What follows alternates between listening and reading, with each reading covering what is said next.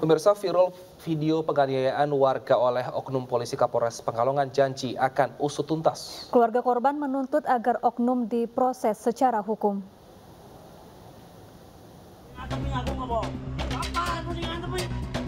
Video penganiayaan yang dilakukan oleh oknum polisi berpakaian preman beredar viral di media sosial. Oknum yang ada di video viral tersebut merupakan Brigadir D yang saat ini masih bertugas di Polres Batang.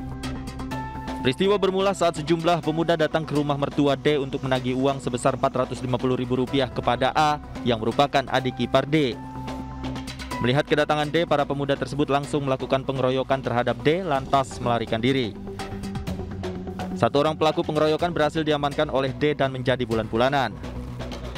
Diketahui saat melakukan pengeroyokan, para pelaku tengah dalam pengaruh minuman keras dan obat-obatan terlarang. Siapa itu? Menantu kan? Hanya sifatnya menantu. Menantu, oke. Ya. Jadi dia pada saat itu Hmm. melangsungkan hari pernikahan di rumah tersebut pada tanggal 24 sekira pukul 07.00 akad kemudian langsung melakukan resepsi. Hmm. Jadi eh, ketika ditanya mengenai eh, terlibat dan lain sebagainya, Tidak. eh, yang bersangkutan dia, dia tidak tahu kalau ternyata saudara Agni ini mempunyai hutang terhadap eh, eh, Kelompok. Saat ini dua orang pelaku pengeroyokan telah diamankan, sementara kasus ini ditangani Polres Pekalongan.